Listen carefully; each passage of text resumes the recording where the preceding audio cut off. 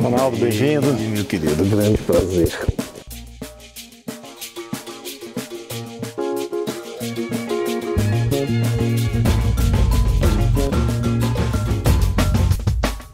A gente quer ter voz ativa no nosso destino mandar.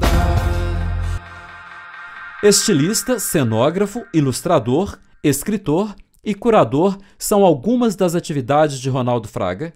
Natural de Belo Horizonte, ele é formado em moda pela Universidade Federal de Minas Gerais, com estudos de pós-graduação em Nova York e Londres. Reconhecido no Brasil e com criações apresentadas em vários países, Ronaldo Fraga foi selecionado pelo Design Museum de Londres como um dos estilistas mais inovadores do mundo. Suas coleções trazem sempre a marca do diálogo com outras manifestações artísticas, da literatura às artes plásticas. Seus desfiles são considerados obras de artes completas, atentas à música, à luz, à cenografia e ao conceito. Além das passarelas, Ronaldo Fraga realizou trabalhos para o teatro e a dança, escreveu e ilustrou livros, organizou exposições em galerias de arte. Turista aprendiz, levou sua pesquisa para diferentes regiões do Brasil, contribuindo com a valorização da cultura popular. Poético e político, enfrentou a transfobia e o drama dos refugiados. Seu desafio mais recorrente tem sido tentar vestir o mundo com justiça e ajudar a beleza a escapar dos padrões. Quem acha que moda é para poucos e descolados não conhece o trabalho do nosso convidado de hoje. Para falar sobre arte, política, economia, comportamento e até mesmo de moda, vamos dar voz ativa a Ronaldo Fraga, um dos mais criativos estilistas do país, com trabalhos reconhecidos em passarelas de todo o mundo. Ele tem desafiado a cultura brasileira a ampliar seu olhar. Artista sem fronteiras, Ronaldo extrapola as passarelas, levando seu trabalho para galerias de arte, palcos de teatro e dança, livrarias e principalmente ao debate de ideias. Para conversar com o nosso convidado de hoje, temos na bancada André Ribeiro, jornalista da edição brasileira do El País, Bárbara Vanoni, advogada e blogueira a jornalista da Rede Minas, Mariana Silva, Carla Mendonça, professora de design de moda da Universidade FUMEC, e Lenora Rolfs, jornalista e colunista de moda. Bom, boa noite. Boa noite. Ronaldo, eu estou lembrando aqui, vendo o seu bigode, de um verso de Carlos Drummond de Andrade, que eu sei que você é um hum, apaixonado por sim, ele, eu claro. também. E ele tem um, um, uma frase que eu gostaria de, de falar para você, o que, que você entende dessa frase. Ele diz: O homem atrás do óculos e do bigode é sério, simples e forte. Quase não conversa. É assim com você também? É claro que é. O bigode, eh, o óculos, ou tudo que o homem, entenda-se como homem, mulher, e usa por cima disso daqui é, para ajudar a forjar o personagem. Uhum. Né? Essa é a construção de um personagem, que ali é uma máscara que você gruda e não sai nunca mais. Uhum. Eu sempre fui um tímido inveterado e eu odiava ser tímido até a adolescência. Uhum. Eu mudei a história dali para cá quando descobri que eu podia brincar com cabelo, com bigode e até com roupa. Bom, Antes de começar a conversa com nossos convidados, vamos conhecer um pouco da trajetória de Ronaldo Fraga. O título inusitado do desfile anunciava em 1996 Sangue Novo na moda brasileira. Eu amo Coração de Galinha. A coleção de inverno daquele ano, ainda dentro do Fitoervas Fashion, que mais tarde se chamaria São Paulo Fashion Week, apresentou Ronaldo Fraga ao mundo da moda. Da víscera galinácea até seu último trabalho, um intrigante passeio retrô pela moda praia, Ronaldo construiu um universo personalíssimo que conta hoje com mais de 40 coleções. Nos últimos 20 anos, Fraga apontou suas agulhas para diversos temas, alguns de inspiração quase abstrata, outros marcados pela intenção de colocar a cultura brasileira no centro da passarela. Quem Matou o Zuzu Angel, de 2002, fez uma emocionante homenagem à estilista que lutou pelo esclarecimento da morte do filho, assassinado brutalmente pela ditadura militar. Da política à poesia, Ronaldo Fraga abriu espaço em suas coleções para nomes importantes das artes. E vieram Guimarães Rosa, Portinari, Noel Rosa, Arthur Bispo do Rosário e Nara Leão, entre outros. A arte popular, o embate entre ser mineiro ou ser apenas universal, a recusa ao que fosse meramente palatável e o prazer de provocar pegaram nas mãos de Fraga e o trouxeram à linha de frente da trincheira cultural. Admirador de Drummond, o homem por trás dos óculos e do bigode sabe que vivemos tempos partidos. Por isso, aposta no poder da diferença, como quem lê, através da moda, a máquina do mundo. Que venham crianças e velhos, brancos e negros, brasileiros e forasteiros, transgêneros e homens, travestis e mulheres gordas, pois há uma roupa para cada um no mundo que Ronaldo recria a cada estação. Ronaldo, é, é importante a gente destacar aqui essa sua característica de pesquisar a, a cultura brasileira para fazer uma moda que fale um pouco da cultura do seu país e do seu povo. Né? Você acha que uh, essa linguagem está sendo aceita pelo mundo da moda, onde uh, é imposto um padrão de beleza de pessoas magras e altas, uh, com idade que uh, começa na quase que na fase infantil ou de criança até aos 23, 24 anos? Você acha que o mundo vai mudar isso? A moda vai. A sua proposta está mudando isso? Porque a gente viu aqui, você fez um desfile com trans, uhum. você fez um, um desfile uh, com uh, pessoas com problemas físicos. Uhum. Né? Uh, você acha que, que nós, nós estamos quebrando essa barreira? Olha, eu nunca tive a intenção de quebrar essa ou aquela barreira sabe, com essa ou aquela coleção. Mesmo porque eu acho que uma coleção realmente ela não muda o mundo, né? A moda não muda o mundo. Ela mais reflete esse mundo. Agora eu acho também que é através do ofício que você acaba encontrando um lugar confortável para você continuar na guerra, né? Para você se, se entender parte desse tempo. E é o que eu faço com o meu ofício. Né? Aquilo que me incomoda, aquilo que me deslumbra, aquilo que me alumbra, aquilo que me assusta. Né? Como que eu falo isso com a escrita? E a escrita do homem é o seu trabalho, né, o seu ofício. Então, quando uh, eu até entrei no início do trabalho, eu lembro que eu tive um professor que certa vez ele disse assim: Olha, você está preparado? Hum. Para passar fome. Eu falei assim, por quê? É difícil de viver de moda nesse país. Isso é nos anos 80, é, final dos anos 80. É difícil de viver de moda nesse país. Quanto mais moda que fale do que você gosta de falar, que é cultura. Hum. Né? E eu falei assim: ah, então tá, então vou me preparar para isso. Uhum. então eu falei assim, olha, eu sempre trabalhei, fiz outras coisas daí que eu acho que isso foi fundamental para uhum. poder abrir os olhos. Mas eu acho que tem uma coisa que é fascinante, que independente de ser ou aquele tema, que é essa mola propulsora da moda, é a moda como espelho retrovisor do tempo. Então, por mais que hoje a gente viva, sim, o padrão anglo-saxônico, que, que, domina não é o Brasil, não, é o padrão de beleza no mundo. Eu fui fazer um desfile no Japão e quando eu cheguei para poder fazer o casting, eu falei, não, eu só quero composites de japonesas. Queria fazer o meu primeiro desfile no Japão, Nara Leão, Bossa Nova. Eu queria as japonesas mais íntimas. Não, mas japonesa, é, roupa vestida em japonês não vende aqui não. não, não. Roupa para vender aqui tem que estar tá vestida em brasileira e russa.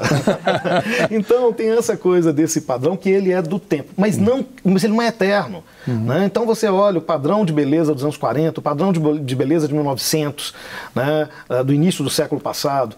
Parece lento, parece que ele não vai mudar nunca, mas ele vai mudar sim. E eu acho que a gente está vivendo uma época de mudança. Né? O novo século, o século XXI, está sendo desenhado nessas primeiras décadas. Uhum. Então tem uma coisa que, por exemplo, até para a moda sobreviver, a, que sempre foi a grande poderosa, sobreviver como vetor que tem o poder, que tem o fascínio que exerce, ela tem que ser diversa. Ela vai ter que olhar para o diverso, ela vai ter que falar de representatividade, querendo ou não, gostem ou não.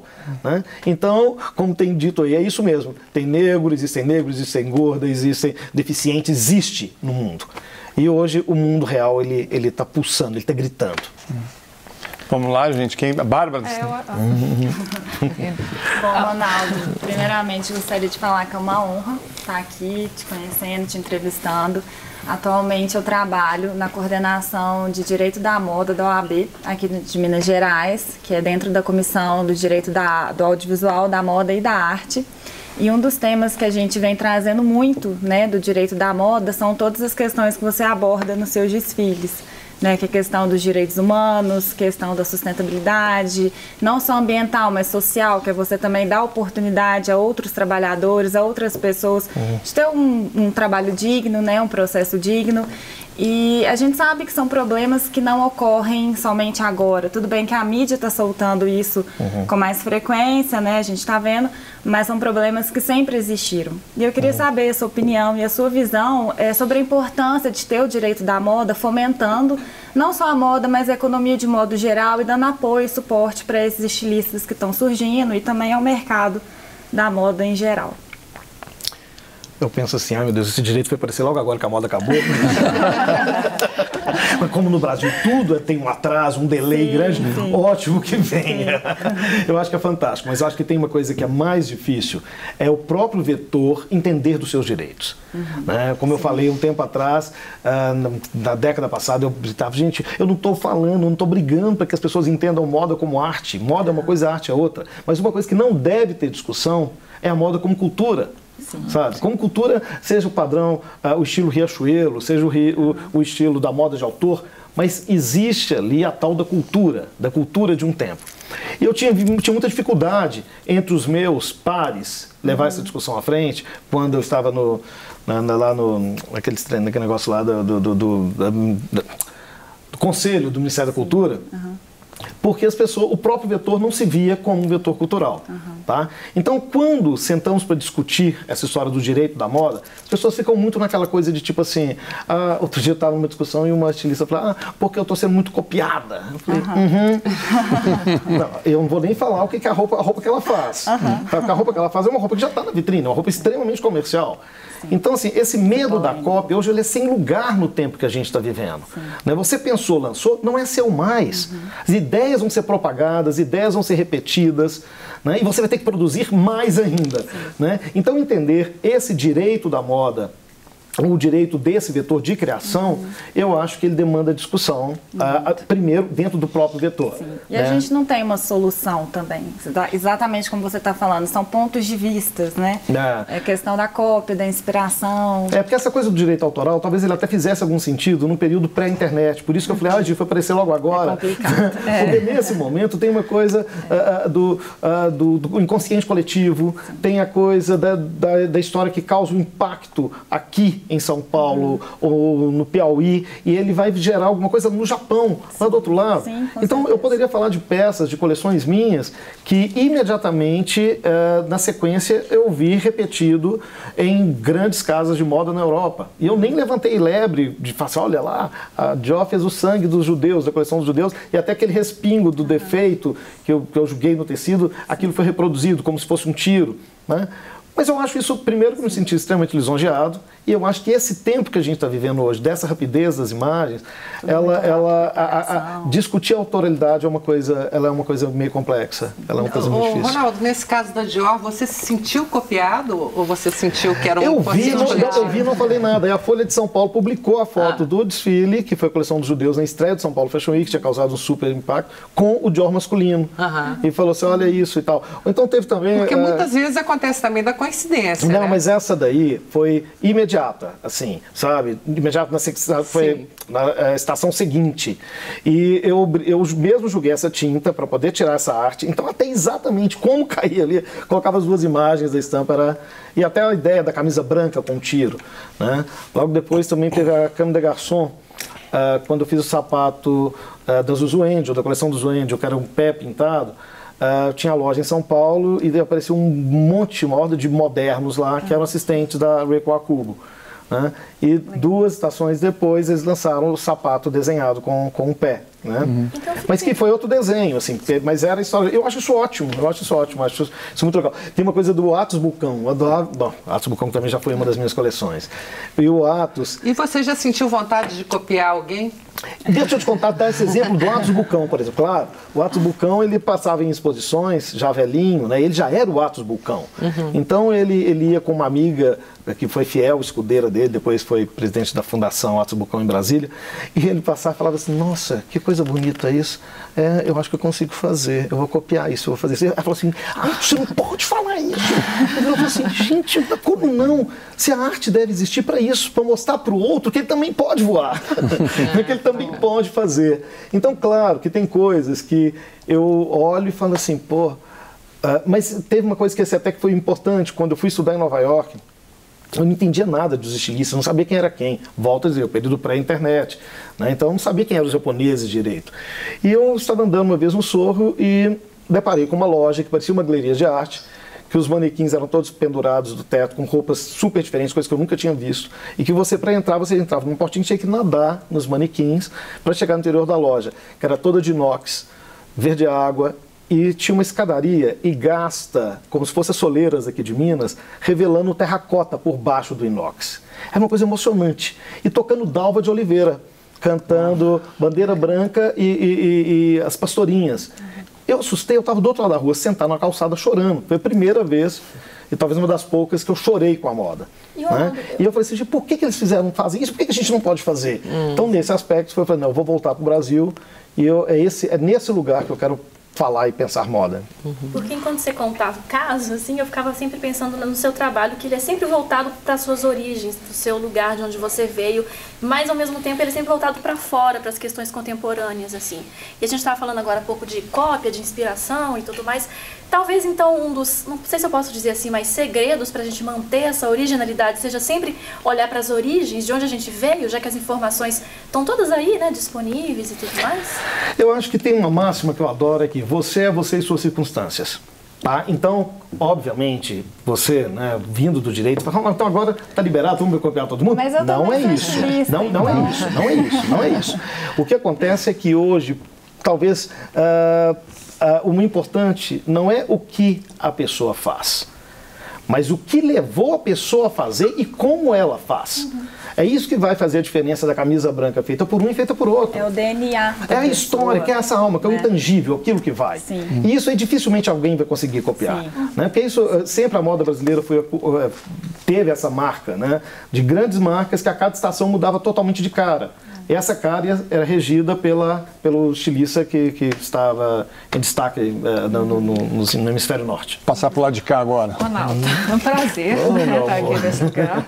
Bem, você sabe disso. Uhum. Me conta uma coisa, eu estava cheia de perguntas, cheia de roteiro, você já abre, aí você abriu, eu já mudei meu roteiro, e você começou a falar, já mudei meu roteiro de novo. Mas enfim, essa história de mudar, você começou a sua resposta para a Bárbara dizendo que ela estava te perguntando isso exatamente, que chega no Brasil na época que a moda acabou. Uhum. Me conta mais sobre essa história. Não, o mundo mundo acabou, né? Sim. O mundo acabou. Eu falei isso, a moda tinha, a moda tinha acabado, sei lá, em 2010, eu fui apedrejado por todo mundo, todos os cantos. Eu achava que era uma coisa tão óbvia. Né? Porque o mundo, como nós conhecíamos, ele caducou. Uhum. Né? Hoje não existem regras para nada. Né? Então, se não existem regras de como fazer isso ou aquilo, de é isso que vai vender, uhum. isso acabou.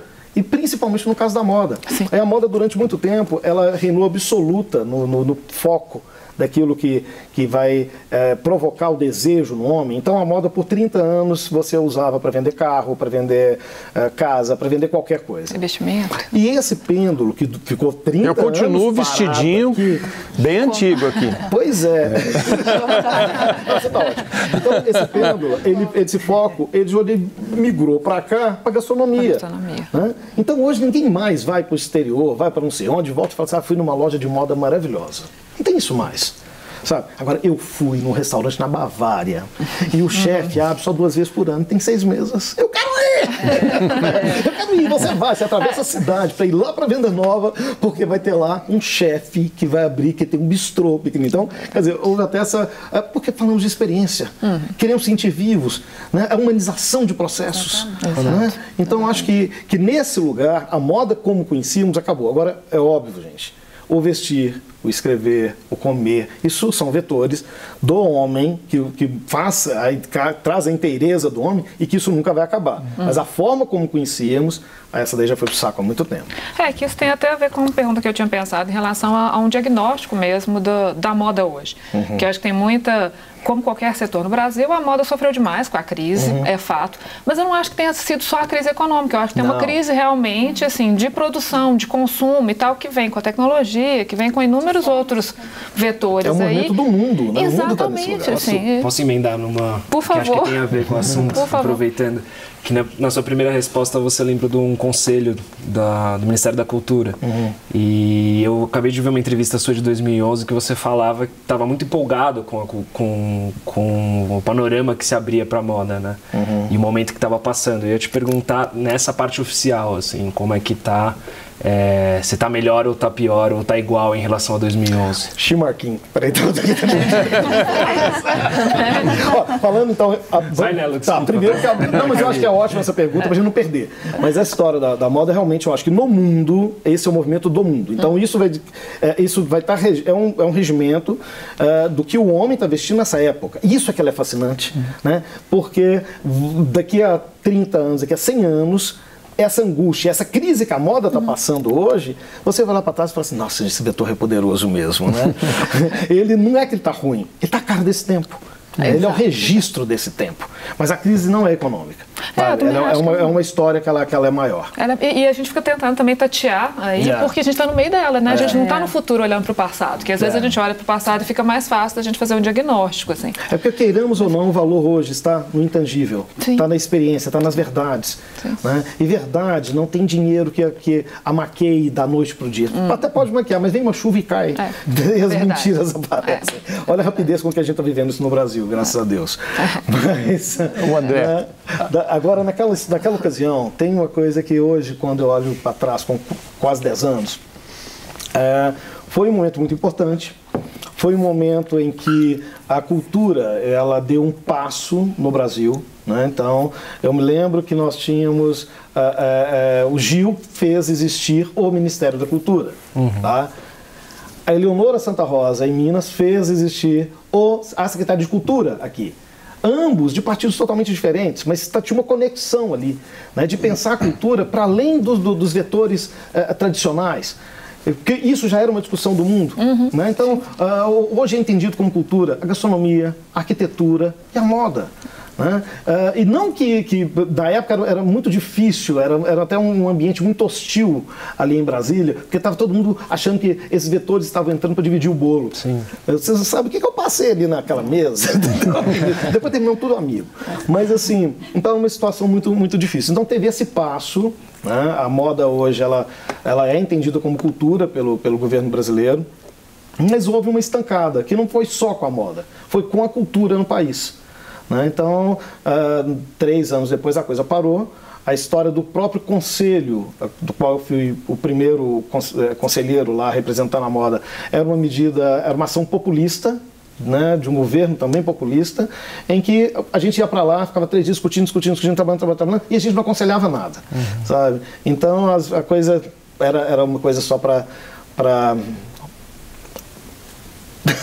tá, mas, mas era isso. Então, assim, em termos práticos, a coisa não aconteceu, mas a coisa foi plantada. E foi mais ou menos aquilo que eu estava te dizendo. Era difícil, dentro do próprio setor, ter essa discussão, porque quando o setor se encontrava e a porta que tinha se aberto era da- do, do- do Ministério da Cultura, eles estavam querendo discutir a alíquota, coisa que era de- eh, super importante, evidentemente, as sobretaxas que o setor vive, mas era uma discussão para o Ministério da Fazenda, não era uma discussão para o Ministério da Cultura. Sabe? Só que eles não se viam como, como, como vetores de cultura. As pessoas queriam eh, eh, diminuir os impostos para ganhar mais, para poder produzir, para poder vender, para. Enfim, era isso. Era só essa discussão da moda olhando para um, para um, para um, para um único ponto. E a dificuldade de se pensar e discutir moda, porque é um vetor muito diverso. Sabe, ele é muito diverso. Ele fala de muitas coisas. Né? Porque ele tem uma coisa que é de extrema importância, e as pessoas poucos param para pensar, que tanto quanto a comida, né, ela é, forja o personagem, como o Drummond estava dizendo aí, mas que é a mídia mais importante, porque é aquilo que você põe no corpo. É aquilo que você, é a forma como você se comunica imediatamente. Na roupa que você escolheu para estar aqui hoje, você está fazendo política. E você fez isso através de quê? Através da moda. Né? Agora, de qualquer maneira, eu acho que aquele momento que você, quer dizer, do boom da moda no Brasil tinha a ver também com o crescimento econômico, com um momento mais democrático, o país vivia em uma, uma democracia mais atuante e o Brasil se colocando muito no cenário internacional, com BRICS, com a, a reunião dos países sul-americanos, enfim, a gente vivia uma ebulição ali. Hum. Então a moda eh, no mundo estava assim, você tinha um Obama nos Estados Unidos, você tinha, tinha coisas novas surgindo. Acho que passa por aí também, né? Mais ou menos. Eu acho que o boom da moda no Brasil mesmo foi nos anos 80. Hum. Né? Então foi a primeira vez que o brasileiro começou, uh, tinha movimentos se organizando de autores. Hum. Né? Tinha um movimento de, de criadores no Rio, uh, com o Davi Azulay, com George Henry, com George, uh, uh, George Henry, o Simão Azulay, o Gregório Faganello, Maria Cândida Sarmento. Tinha o Grupo Mineiro em Minas. Então, a primeira vez que as pessoas olhavam para Minas e veio uma lufada de modernidade ali. Mas uhum. o vetor sempre carecendo, obviamente, de um apoio, uma sustentação para que ele se mantivesse. Uhum. Né? E, no entanto, foi um setor que desde o início virou essa história da, da, da, da sobretaxa que eu estava dizendo. Agora, o que aconteceu na década passada foi que às vezes as pessoas me perguntam assim: ah, a moda brasileira está fazendo sucesso lá fora, né? Não, não é a moda brasileira que está fazendo sucesso lá fora, é o Brasil que está fazendo sucesso lá fora. E as pessoas estão interessadas em tudo que vem desse país, uhum. né? de um país que, que, que tem essa imagem, essa mítica, essa mágica, que vende essa mágica de uma eterna juventude. Uhum. Então, uma eterna juventude com uma estabilidade econômica, então estava perfeito para o mundo. Então, todos ganharíamos ali. Né? A cultura do país era o momento dela aparecer. E era o momento da moda também dar, ter dado uma alavancada. Bom, a Voz Ativa faz um pequeno intervalo e a gente volta já já conversando com Ronaldo Fraga. Roda gigante. Roda mundo. Roda gigante.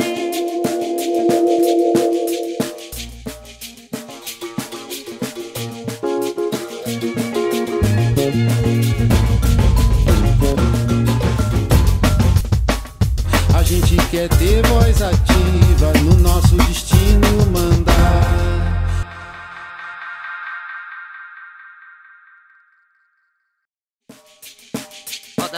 Roda gigante.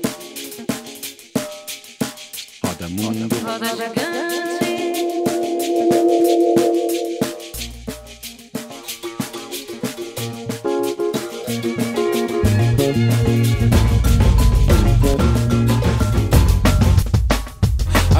Quer ter voz ativa no nosso destino mandar. Estamos de volta ao Voz Ativa, hoje conversando com o estilista Ronaldo Fraga. Bem, antes de a gente voltar ao nosso bate-papo, queria chamar um VT muito interessante, né? O teatro, dança, literatura e artes plásticas. Vamos conhecer outras facetas da criatividade de Ronaldo Fraga e fazer uma visita a seu mais novo espaço, o Grande Hotel. Nas passarelas todos sabem, Ronaldo Fraga faz muito mais do que desfiles. Fora das passarelas, então, ele pinta o set.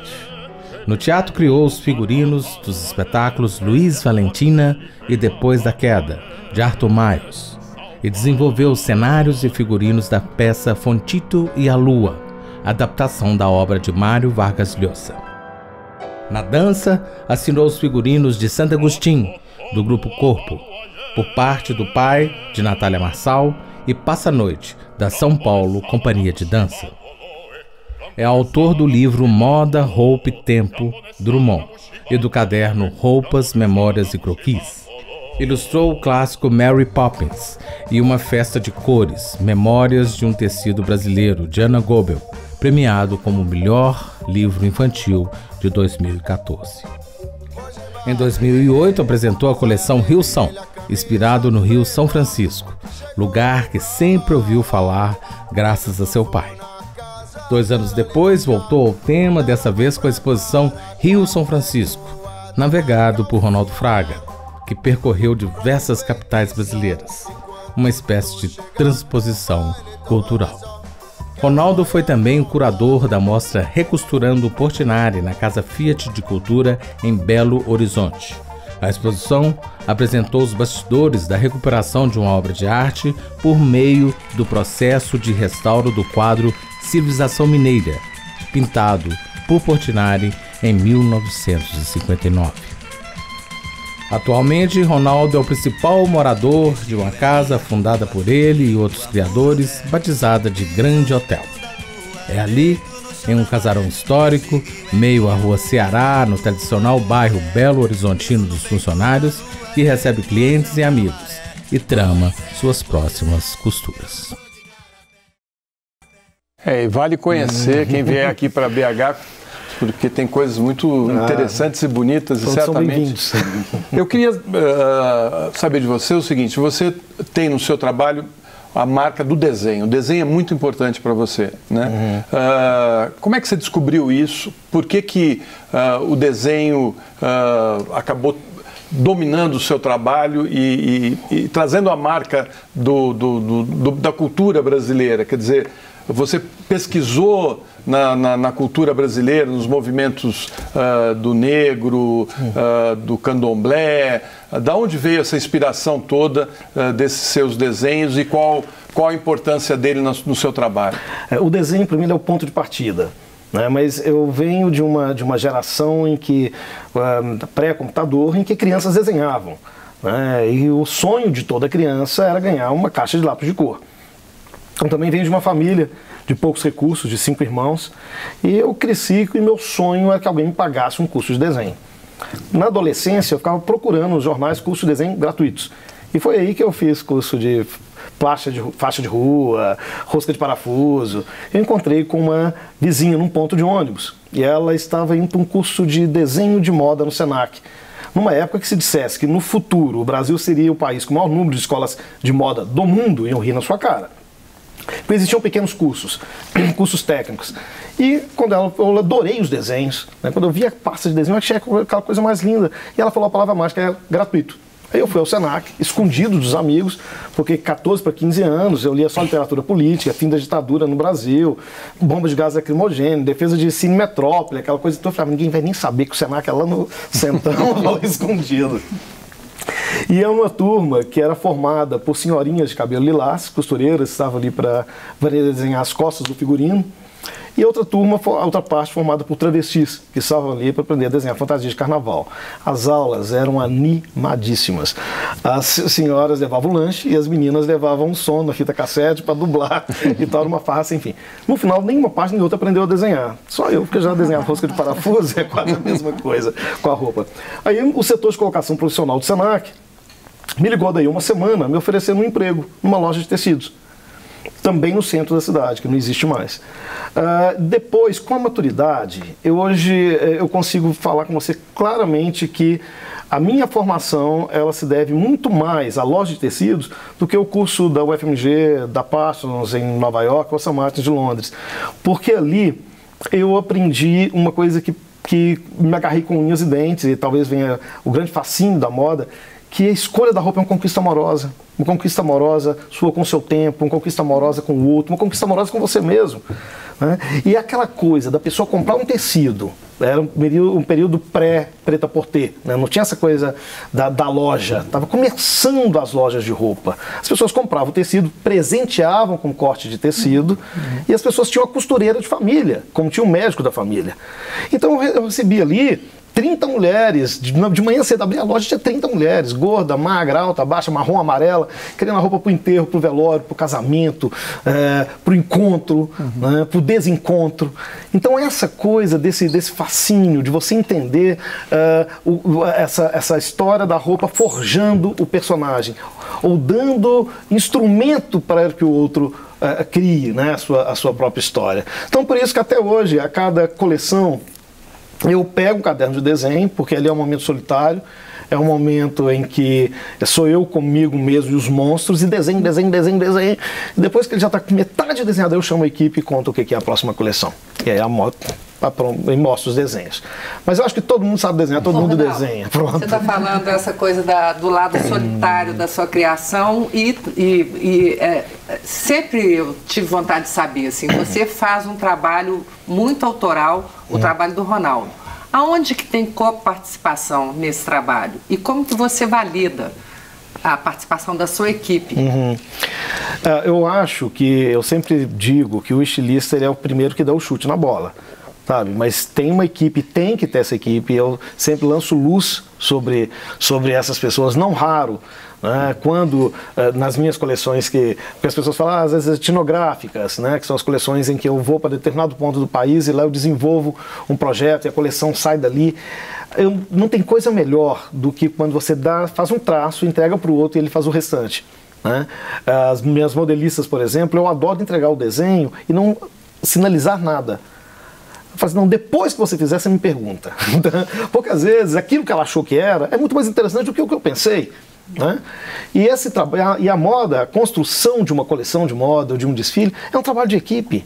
Não, não tem o estilista ali, claro, que eu defino o tema, claro, eu faço a direção geral, claro, que quando.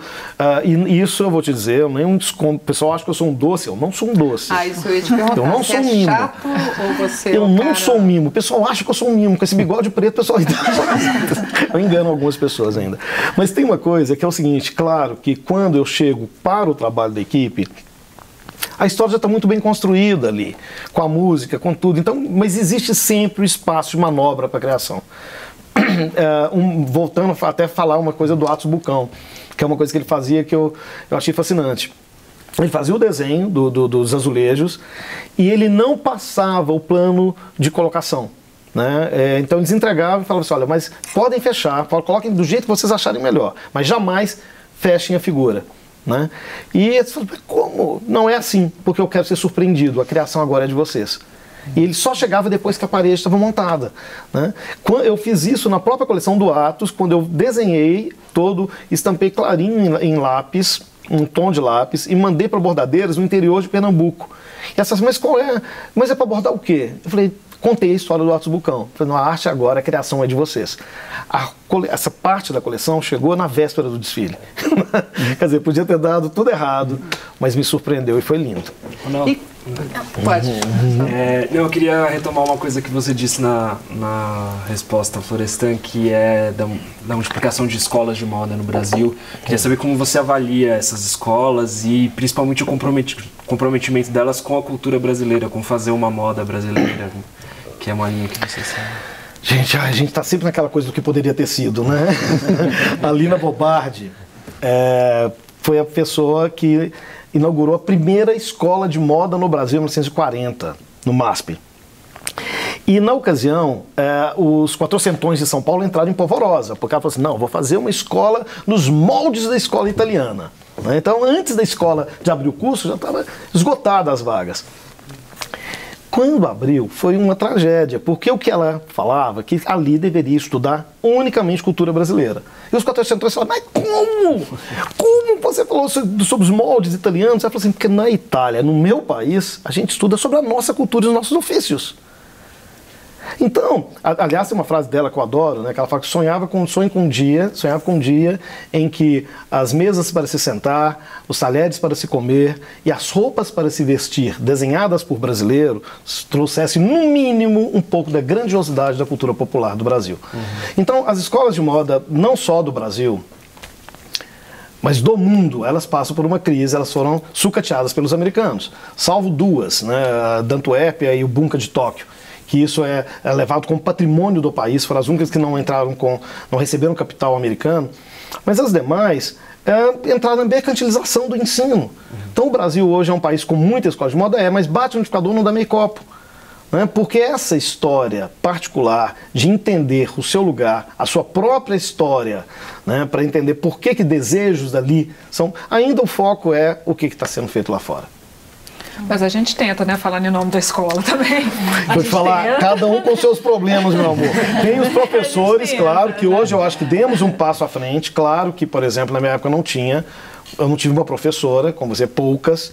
A, a, na instituição que você trabalha também não existia, o curso estava capengando no país, mas ainda assim é uma história que ela, ela é complicada. Mas tem, tem todo esse vício, porque também, como eu falei, a história do tá. próprio vetor se entender sabe, como cultura. Sim. Mas justamente essas duas escolas, que é o Bunka de Tóquio e a Escola da Antuérpia, elas ensinam a cultura do país, do ofício do país, para chegar até a roupa. Tá? E não o inverso. Então é uma, é uma situação complicada. Porque existe muito essa questão também de, do- dos alunos fazerem o que vende. Ah, eu vou fazer minha coleção porque isso vende, vou fazer isso porque. E acaba que a gente não sai do lugar, né? Falta criatividade, eles não olham para de onde eles vêm, para as origens, e a gente acaba vendo muito mais do mesmo. Eu falo do lugar de jornalista mesmo, que às vezes a gente vai em desfile, a gente vai nesses lugares e você. Ah, eu já vi isso em algum lugar, alguma coisa parecida. Então fica muito massificado, né? Falta um pouco dessa originalidade mesmo, que é, foi importantíssima para a moda também, né? Tem uma coisa que eu adoro, para você entender a moda, traça o paralelo da moda com a culinária, sempre. Sabe? Aí você vai entender o que, que vai usar e para onde que o mundo vai caminhar. O homem, do que ele veste, o que ele come, é quase que a mesma coisa. Tá? Então, se por um lado hoje é, houve com a globalização a história do acesso, você sai aqui, você vai comer qualquer comida do mundo aqui. Mas quando você vai em um lugar, você chega em Belém, você não quer saber de comer comida italiana. Né? Você não vai procurar um frango a molho pardo em Belém. né? Que venha os jambus, né? que venha os filhotes, que venha toda aquela culinária maravilhosa daquele lugar. É isso que as pessoas Ontem querem. eu fui comer aqui e fiquei um pouco decepcionado. E à noite eu achava comida mineira, tipo restaurante italiano, mexicano. Isso, por exemplo, as pessoas chegam aqui e falam assim comigo: Nossa, tá difícil encontrar comida mineira aqui aqui em Belo Horizonte. E a mesma coisa acontece com a moda. Então hoje tem uma história de, um, de uma, do novo estilista, de uma nova geração, que faz a roupa que é a mesma que já está no fast fashion, na vitrine. Né? É o moletom preto, cinza. já- o nude, a gente já sabe que as cores não vão mudar muito, já tem um formato, porque aquilo vende, aquilo é palatável, né? não tem risco. De novo, é a cara do tempo que a gente está vivendo. Exatamente, eu queria chegar nisso, assim, aí também é, tentando, né, num olhar de professor, eu imagino que, que a relação que essas pessoas que estão chegando agora têm com a cultura mesmo é essa. E a gente está olhando de um outro lugar. Né? Talvez essa é uma nova forma de fazer, um novo olhar, é uma forma, é uma forma que essas pessoas estão lidando com aquilo que é dado a elas e com o traço que elas têm também de formação. Não, são tempos digo empobrecidos mesmo. São tempos empobrecidos. Então, essa, essa, esse empobrecimento do mundo com a. Com a Tá, a democratização da informação, todo mundo tem acesso, mas vivemos uma época de síntese. Então a comida virou síntese, é. a culinária virou síntese, a moda virou síntese, a arquitetura virou síntese. né? Agora, quem consegue romper isso e sai correndo no campo minado, aí é quem tem chance de fazer alguma coisa. É, inclusive, tem até uma pesquisadora de tendências, a Ali Edelcourt. Ah, maravilhosa. ela fala que a gente está vivendo a era do tédio em massa, né? Que se Uhum. não for para vender em massa, nem coloca na prateleira, que é a questão Uhum. do fast fashion. E você acha que falta ainda marcas que tenham essa coragem, essa ousadia, principalmente que você traz nos desfiles atualmente? Você acha que falta aluno, que falta pessoas que tenham essa isso, que tenham essa capacidade de arriscar, que não tenham medo? É lógico que a gente tem que pensar também do ponto de vista comercial, porque a gente tem que sobreviver. Eu tô achando essa época que tá ótimo, que ninguém tá vendendo nada. então pode ser Então que daí pronto. venha uma criatividade. Mas é o seguinte, mas não é isso, gente. É porque hoje você não precisa cortar o pulso. Aquela roupa que você, que o estilista está te oferecendo como roupa de autor, você vai na Zara, que fez lá no Paquistão, que vai ter essa roupa lá, entendeu? Num custo absurdo de coisa. É o tal do tédio. Exatamente. É maravilhoso. Agora, isso daí realmente é uma história que o mundo inteiro está nessa direção. Por isso que tem também. tá- aí você fala, "Ah, então o mundo está fadado a essa desgraceira toda. Não. Eu acho que é justamente quando acontece isso que vem algo de novo. E esse novo, hoje, ele está no terreno do intangível. Sabe? Então, numa, numa- num terreno, num momento, é terra de cego, quem tem olho é rei, se alguém pensa numa terra onde ninguém está habituado a pensar, essa pessoa, o trabalho dela vai aparecer. Sabe? Agora tem a coisa dessa palavra, que é a palavra da moda agora, que a moda teve atitude, teve conceito, e agora a palavra, mas é a que nós temos até aqui, então vamos usá-la, que é o tal do propósito. Né? Então, para que fazer isso? Né? Para quem fazer isso? Talvez até mais para quem e por que você faz isso do que para quem. Exato. Né? Porque quando você traz essas verdades, é isso que as pessoas querem consumir. Então, até bem pouco tempo atrás, quando você falava assim, ah, não, comprar orgânicos, ah, isso é caríssimo, isso é só para uma pequena elite. Quer dizer, a gente está vendo aí a comércio dos orgânicos crescendo no país, né, as pessoas tomando uma consciência que somos envenenados todos os dias, a todo momento, na hora que você acorda, né, com aquilo que você come. Então, essa consciência do que você come, a roupa que você faz, onde ela é feita, né, como ela é feita, por quem ela é feita. Então, agora você está né? tocando num assunto também que, enfim, é, nos últimos anos teve muitas denúncias, acho que foram 37, eu até anotei aqui, foram 37 denúncias em oito anos de trabalho escravo em produção de marcas e acho que a última agora foi a Animale, né? Sim. É, e a gente fala como que a indústria da moda pode reagir a isso de um jeito mais satisfatório, né? A- a história não é fácil. Sabe? Por exemplo, quando você realmente pega e vê lá, na Animale mesmo, eles até colocaram a história do valor, que a pessoa morando no mesmo lugar, parece que ela pagava 5 reais uma peça e essa peça era vendida por 600 reais. Né? Então tem coisas que são, são absurdas, são tenebrosas mesmo. Mas já aconteceu com uma marca de um, de um, um estilista, uma, uma estilista de Belo Horizonte, em que ela sempre teve uma, uma relação super eh, clara com os funcionários e, e chegou um momento que ela, enxugando, os funcionários passaram a trabalhar em casa. Então tinha uma costureira antiga dela que passou a costurar em casa. E tinha uma filha de 15 anos que sempre adorava moda e que trabalhava com a mãe. Né? Essa pessoa foi autuada por uma denúncia e foi caracterizado o trabalho, o trabalho escravo infantil. Né? Então, assim, eu acho que tem esse tempo todo que.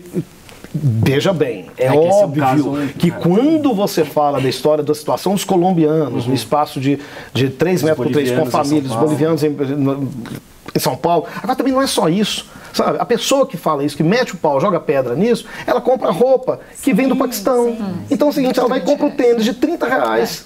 Como na, celular, na Zara, às não vezes. sei onde. Ah, celular que é fabricado Então, na China. Não, já que era um comércio escravo lá do outro lado do mundo, ah não, pode deixar, isso não tem nada a ver com isso. Não existe esse Entendeu? milagre de tre- tênis por 30 reais. Gente, Agora- esse tênis, ela, ali fala, fala isso muito bem. Esse tênis, é, ele murmura, ele, ele, ele deixa marcas de sangue por onde você vai. Agora, você fez uma não crítica fecha. né, a isso, né?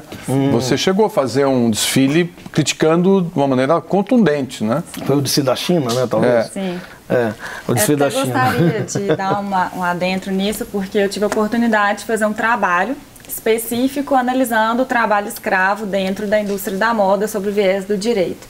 E é um problema que vai muito além, porque Uhum. essas empresas, Animalio, por exemplo, muitas outras, elas culpam as terceirizadas. Uhum. Mas a, a responsabilidade é delas também, de fazer essa fiscalização de como está sendo produzido um trabalho. Então tem até aquele documentário, né, The True Cost, Uhum. que mostra uma fast fashion que faz a fiscalização lá na Índia, de como o produto está sendo feito, por quais pessoas estão sendo feito. Então, assim, ainda é complicado, ainda mais com a reforma trabalhista, né, que a gente teve, que precariza sob um ponto de vista, mas ao mesmo tempo deixa mais informal e o mercado da moda já é muito informal. Então é um ponto assim que o consumidor, na minha opinião, é o principal responsável por fomentar esse tipo de trabalho, porque a partir do momento que está vendendo e a pessoa está comprando, para o empresário aquilo vale a pena, né, entre aspas. Então ninguém hoje é preso por estar escravizando ali um boliviano, um peruano, um colombiano. Até porque essas pessoas também elas não têm noção de que aqui é ilegal. E lá no país delas, provavelmente elas estão numa situação muito pior do que as que elas estão passando aqui. Então é uma, uma questão bem polêmica que a gente tem que analisar vários pontos de vista, né? E o consumidor, no meu ponto de vista, ele é o principal responsável por evitar que isso aconteça. Porque a gente está caminhando para um lugar que, não raro, eu chego numa situação que as pessoas falam, "Ah, e a moda que tem escravizado, hein? sabe? Que foi o que aconteceu com a cultura aí no ano passado, sabe? Então, falei, gente, peraí. Então, são muitas faces dessa história. O que, que você está vestindo? Deixa eu ver, sabe? Deixa eu ver. Qual, deixa eu ver qual é a calcinha meia, sabe? É. Então, sabe quanto, por quanto você pagou isso? Entendeu? Então, que eu acho que é essa, essa história. De, um, de novo, é o mundo, gente. O mundo encolheu. Então, todas essas questões que você achava que era distante, a crise dos refugiados não vai chegar aqui, está chegando. Chega. Chegou já. E é problema nosso também.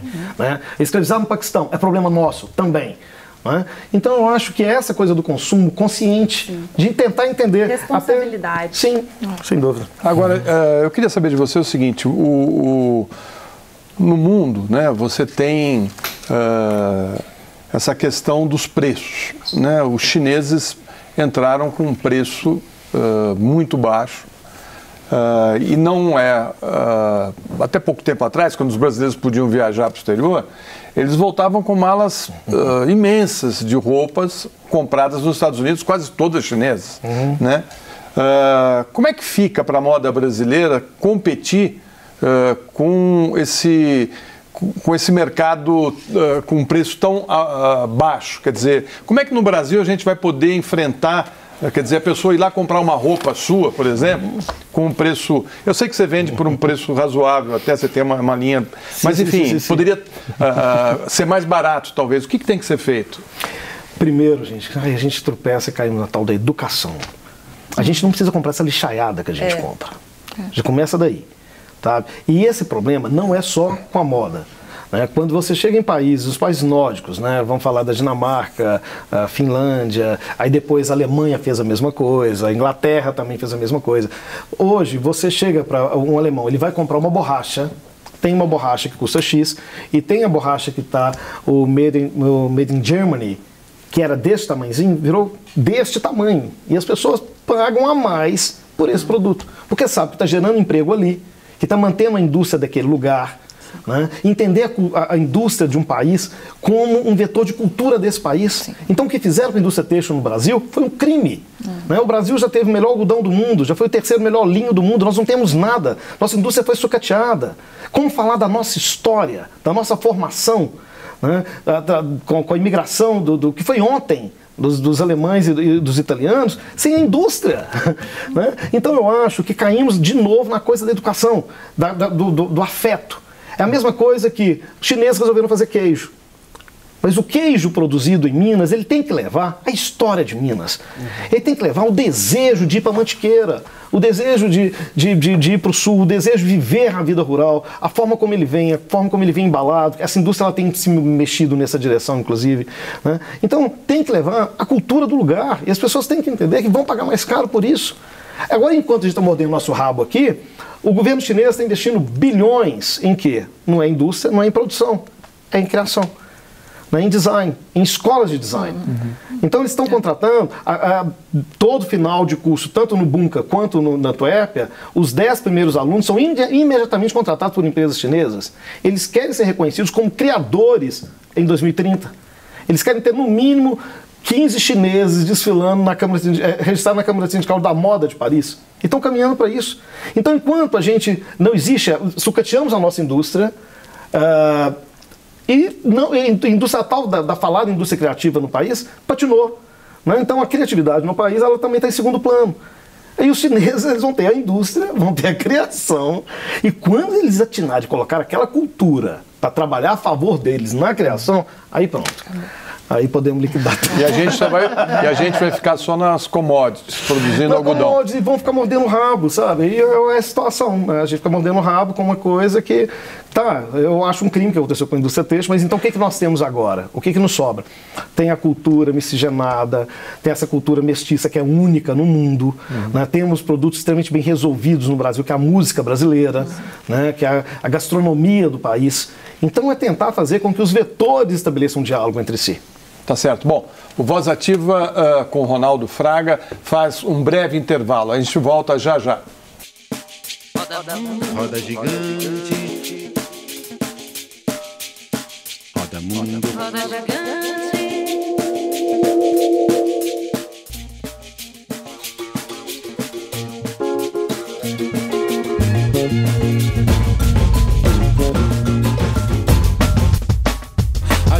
quer ter voz ativa no nosso destino mandar.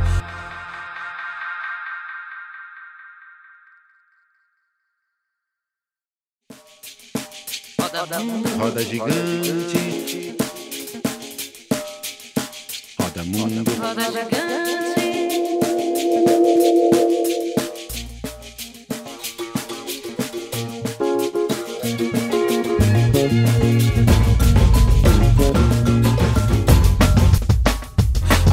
quer ter voz ativa no nosso destino mandar. Estamos de volta para o terceiro e último bloco de Voz Ativa com o Ronaldo Fraga.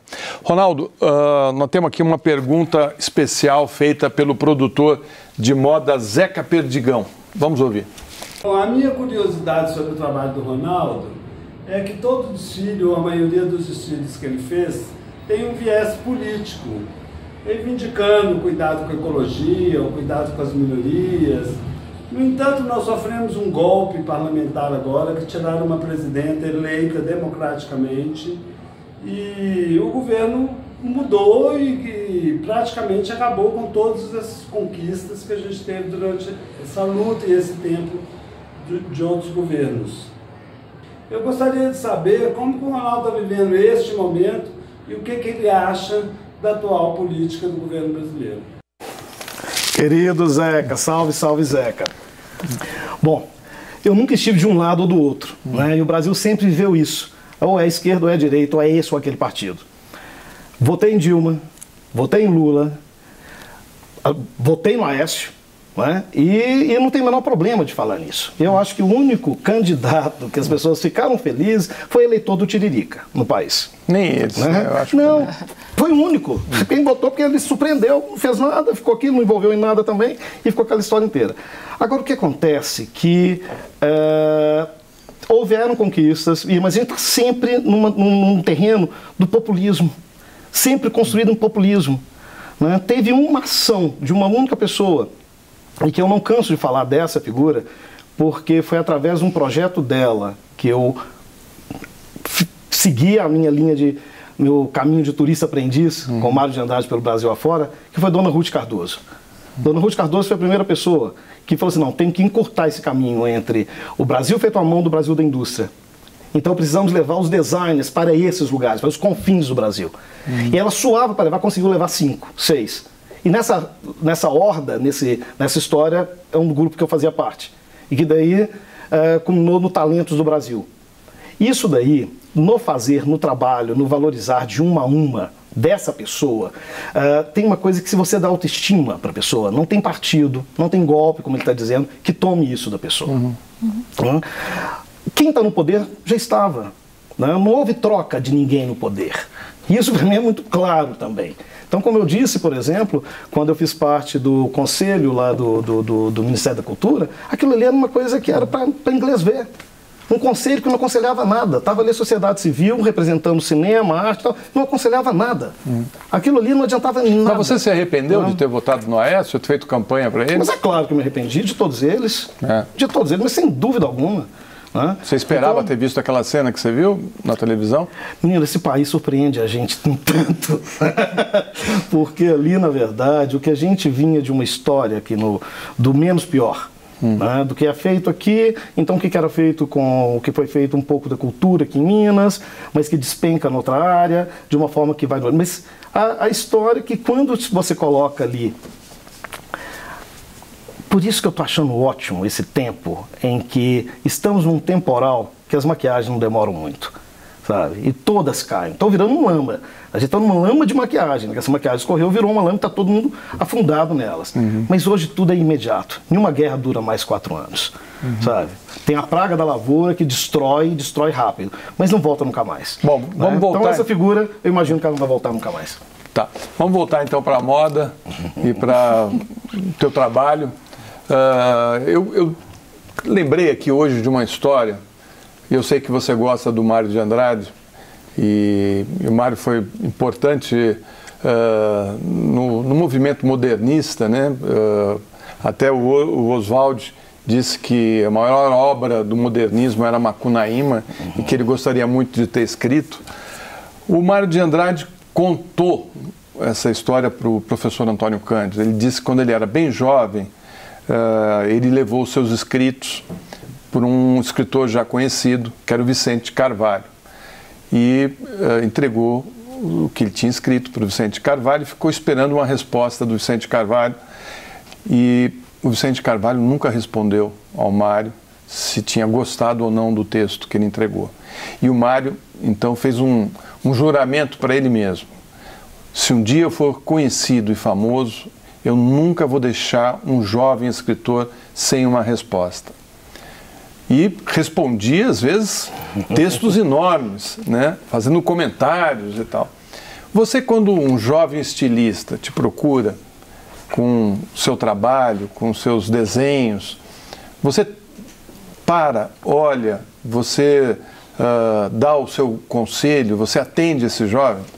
hoje facilitou demais a história do WhatsApp, né? Porque eu viajo muito o país, tem muitos eventos, muitas palestras, então não raro eh, eles me trazem brochuras imensas ou mandam até por e-mail né, projetos imensos para poder ler. Eu falo assim, eu não vou ler. Não quero te enganar, amiguinho, eu não vou ler. Mas aqui está aqui meu número do meu celular. Você passa para o WhatsApp cinco desenhos e duas frases. Sabe, o que, que você pensa nisso?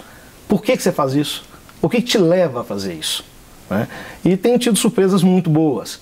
E eu faço isso porque, ao contrário do Mário de Andrade, eu fui muito bem recebido por pessoas que eu admirava quando eu era estudante.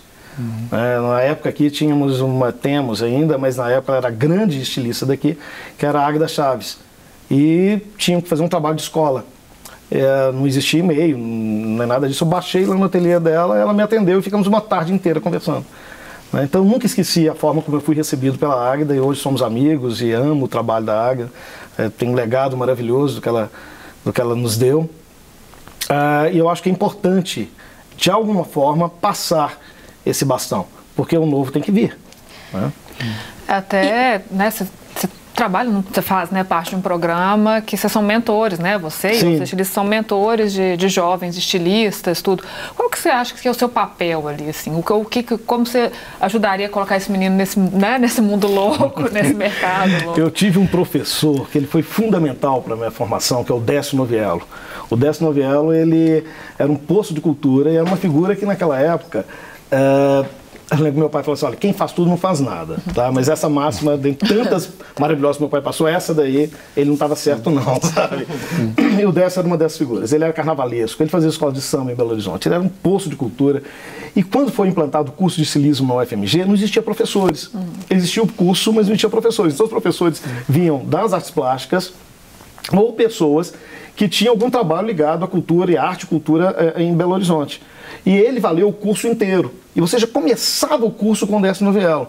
Então ele chegava, ah, você fazia o desenho, né, ele passava um filme, ninguém nunca tinha ouvido falar de escola, sabe? Então, quem aplicou escola, Visconti, tudo foi, foi Décio Noviello, no curso da UFMG. Então as pessoas desenhavam, ele pegava, chegava, as meninas jogavam o cabelo assim, né, para ninguém ver o desenho, e ele ficava assim, oh, amor.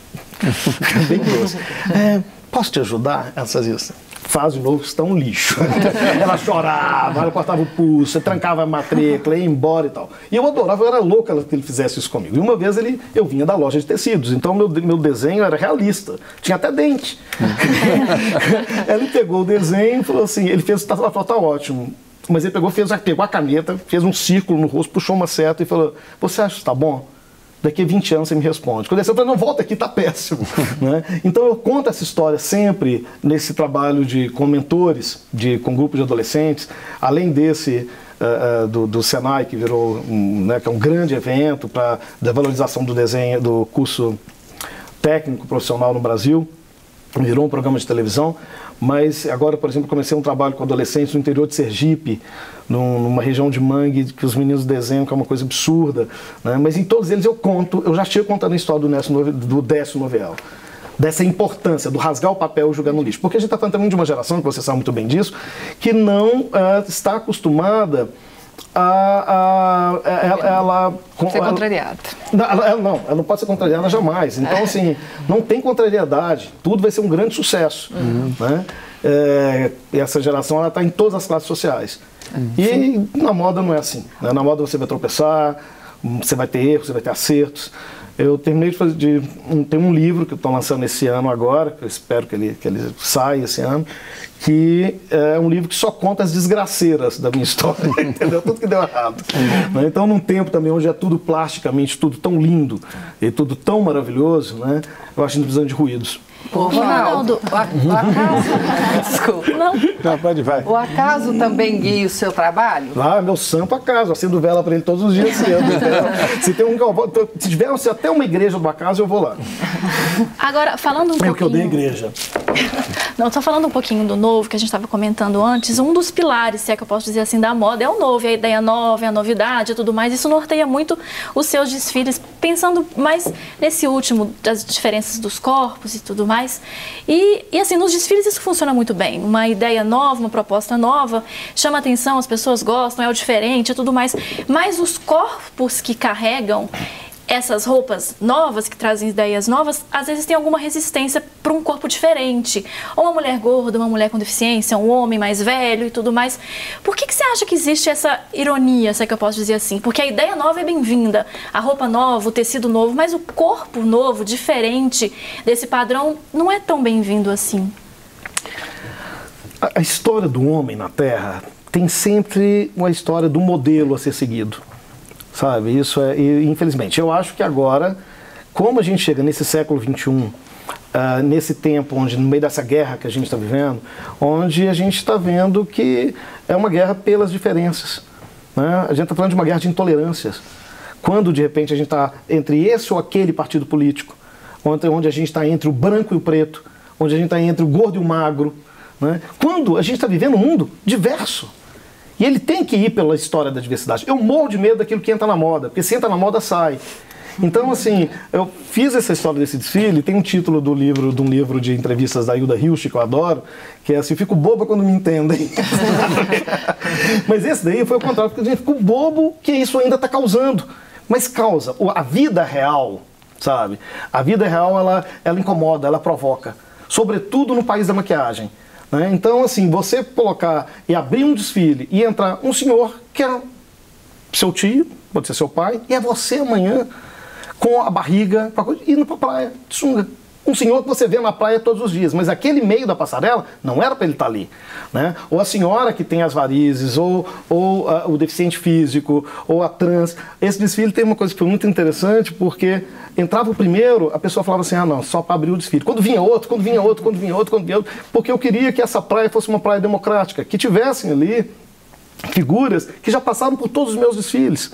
Mas ali não era bandeira da, da, da, do plus size, não era bandeira da transfobia, não era bandeira uh, do, do, racismo, não era, eram todas as bandeiras. Aliás, não tinha bandeira nenhuma, todo mundo usou bandeira no show e foi pra e praia. É isso que é interessante, eles estavam desfilando, não tinha aquela pessoa que abriu o desfile ou fechava o não. desfile, que costuma ser o destaque. Né? E misturado ali, com os modelos, é. e a roupa é real. Tá? Elas vão na loja, elas vão encontrar essa roupa. Não é uma roupa para passarela. André. Eu nunca fiz isso só a roupa para passarela. A roupa para passarela sempre teve na loja. Agora, Ronaldo, é... aproveitando o gancho, Em 2014 teve um discurso, um, um desfile que causou uma certa polêmica. 2013. Que, 2013. Você sabe melhor que eu. que foi o do Bombril na cabeça de, de, de modelos que, enfim, eram brancos. Uhum. eu queria saber, de 2013 para cá, as coisas mudaram muito nessa, nesse tema, né? Acho que o movimento negro se tornou muito mais ativo, inclusive, do que era naquela época e as redes sociais também. Uhum. Eu queria saber como você acha que isso seria encarado hoje e se você faria a mesma, a mesma opção que fez naquela época.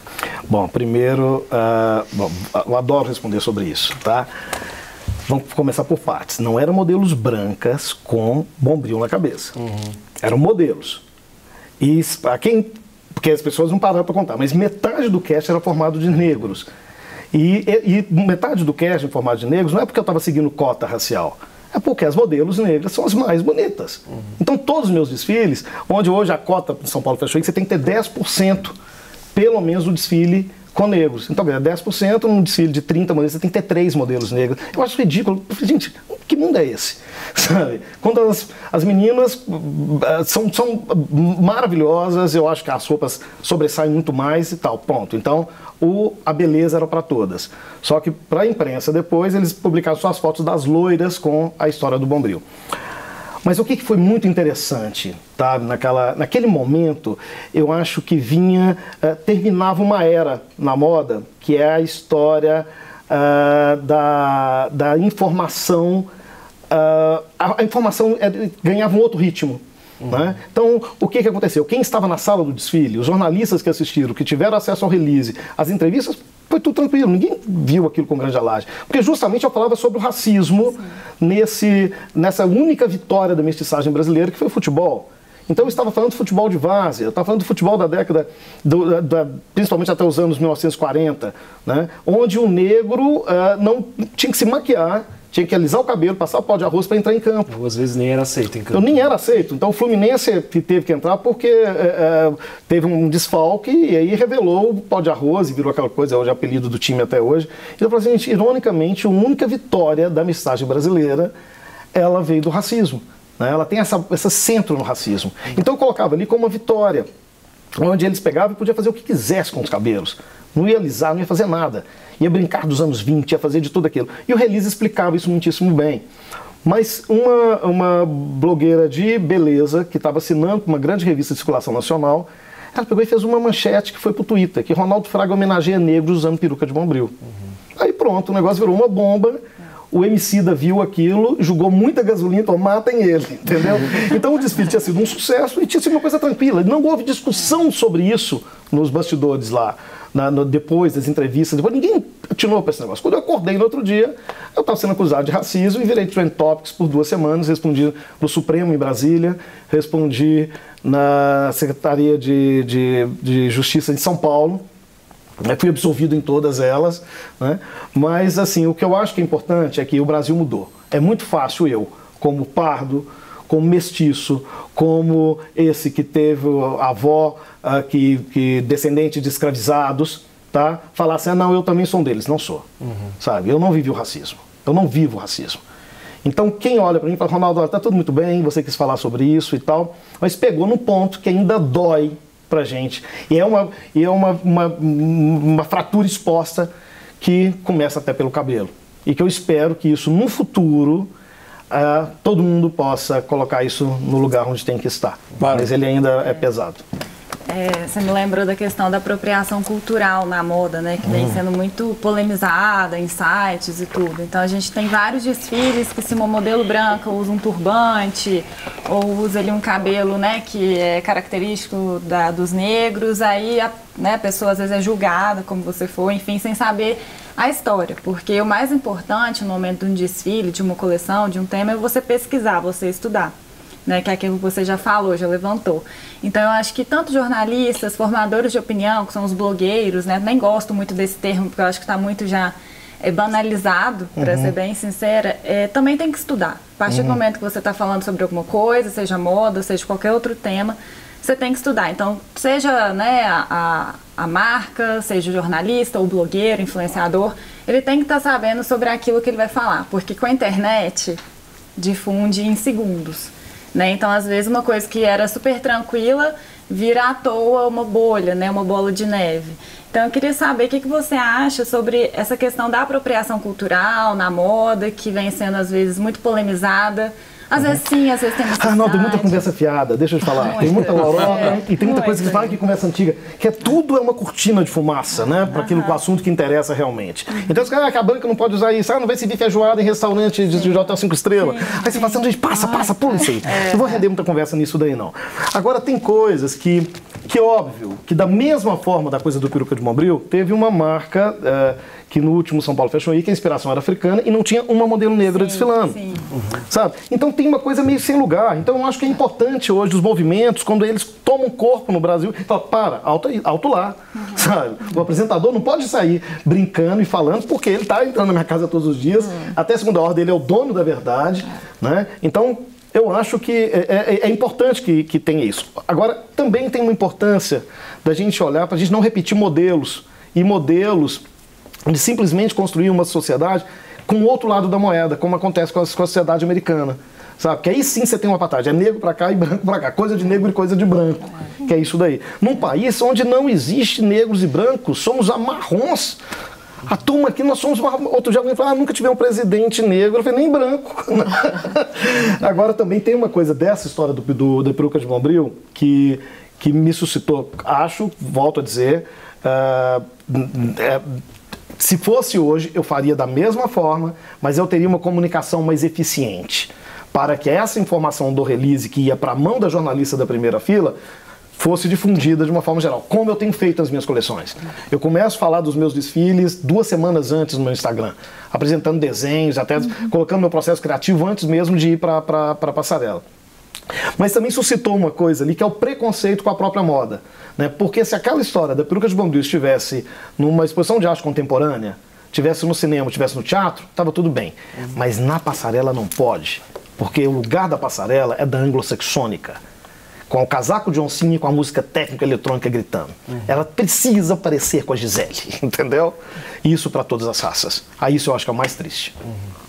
Se você eh, voltar num tempo, uns 20 anos atrás, uma mulher com 50, 60 anos, ou um homem com essa idade, já seria um, um avô, uma sim, vovó. Sim.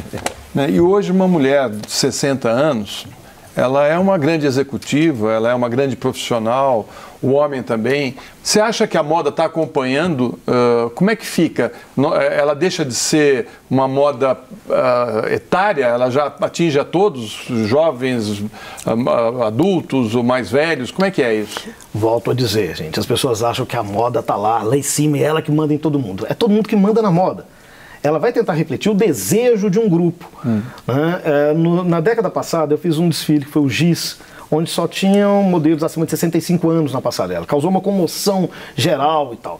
E naquela hora ali eu estava falando justamente de uma coisa que sempre me incomodou, que é essa coisa do Brasil, a pessoa fazer 60 anos e vestir o manto da invisibilidade. Né? Ela ser uma invisível aos olhos da sociedade. Quando, 10 anos depois desse desfile, que foi em 2007 mais ou menos, eu olho e falo assim, gente, vencemos essa etapa temos um novo velho, graças a Deus.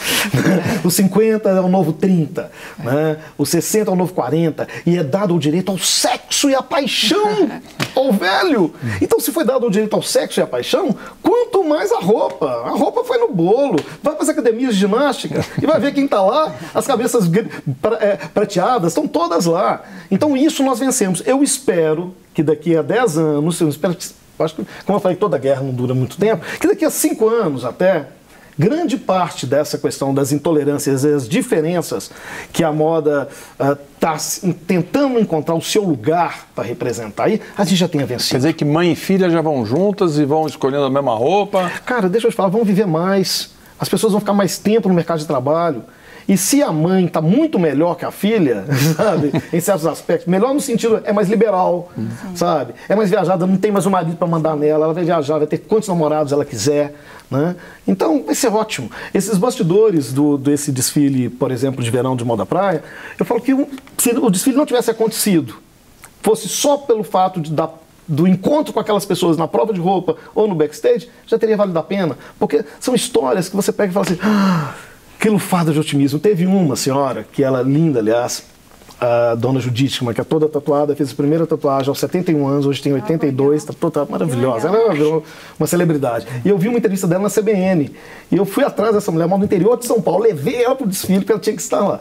E em dado momento, porque na CBN perguntaram para ela, assim, na entrevista: Ah, a senhora tem namorado? Não, meu filho, eu não, não mexo com isso, não, que eu não posso engravidar mais, não. Agora que eu tô livre. mas aí lá, a, a pessoa que tá acompanhando, não, Ronaldo, ela tem namorado, mas ela não fala do namorado dela. Eu falei: Ó, oh, dona Judite, só precisa falar do seu namorado. Preciso que outras mulheres de 85 anos escute isso. Ela falou: Não, não falo, não falo, porque tudo tem limite. Eu falei: Mas por quê? Por que é limite? Eu sou amante. É 20 anos. E a mulher dele sabe, mas a mulher chega lá no salão de beleza, abre a revista, tá lá Judite falando que tem um namorado. Ela sabe quem é, eu preciso tripudiar em cima dela. Não, tu tem limite. Aliás, até esse desfile do, da, da, da, moda praia, hum. ele é um pouco retrô também, né? Hum. Sim, porque aí, a, a, da, essa parte da moda praia que eu adoro é quando o brasileiro descobre uh, a praia para além do, do, do tratamento medicinal. Uhum. Né? Então, ali, pela primeira vez, as elites se misturam com os marrons. Uhum. Né? Então, a elite vem, mistura com os escravos, com os amarronzados, foi a década de 20.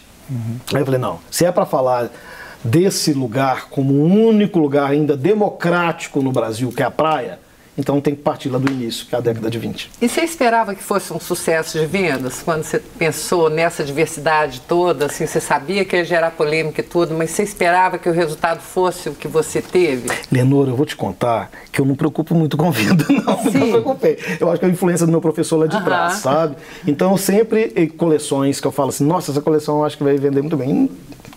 Não venderam. Uh -huh. E outras, a grande maioria, sempre me surpreendeu assim e tal. Mas essa, eu vou te dizer que eu já sabia que ia ser, sabe por quê? As pessoas querem representatividade, elas querem poder encontrar, elas não querem... É, tem uma história que me marcou muito, que quando nós abrimos a loja do São Pedro, isso fins da década de 90, e uma senhora veio... Não, não, prr, desculpa, 2005, 2004, 2005, coleção do Drummond que quando eu fiz a coleção do Drummond, assim, nunca tinham. A moda brasileira tinha se inspirado em literatura brasileira. Sabe? Sobretudo nos clássicos da literatura brasileira. Então, o que, que Drummond tinha a ver com a moda? Alguém que vestiu três cores uma vida inteira, uhum. né? durinho, né? fechadinho. Então, isso nos olhos do, de quem não conhece Drummond, que nunca chegou perto do, do escorpião que era Drummond. E aí essa, essa cliente, ela veio de Tiradentes, ela chegou e falou assim, olha, eu vim comprar uma roupa para minha, pra minha neta. Aí ela entrou e ela demorou horas, horas, horas, horas. Quando eu saindo da loja assim, ela estava com muito de sacolas. Eu falei, não, é o presente para sua neta? Ela falou assim, não, eu menti. Eu vim comprar roupa para mim. Porque eu vi, eu sou enlouquecida com Drummond. A minha adolescência, quando eu escrevia uma carta de amor, eu escrevia falando de Drummond, tinha uma citação de Drummond, e eu vi na televisão que você tinha feito um desfile sobre Drummond. Só que eh, eu fui à loja no shopping uma vez, eu fui procurar uma roupa, e de imediato a vendedora já me desmontou, falou, não, aqui, aqui não tem roupa para sua idade. Né? Então, olha que ela era mais magra, levou toda a coleção e virou E tá Dona. Magnólia, uma cliente querida que hoje já está do lado de lá. Bom, muito obrigado pela sua entrevista, pela essa conversa agradável. A gente chegou ao fim do nosso programa Voz Ativa, que é uma produção da Rede Minas de Televisão e Rádio Inconfidência, em parceria com o El País Brasil. Agradeço ao Ronaldo, Obrigado aos nossos convidados, ah, às pessoas que nos acompanharam pela internet ou pela televisão. A gente volta na semana que vem com Voz Ativa, um programa republicano e democrático. Até lá.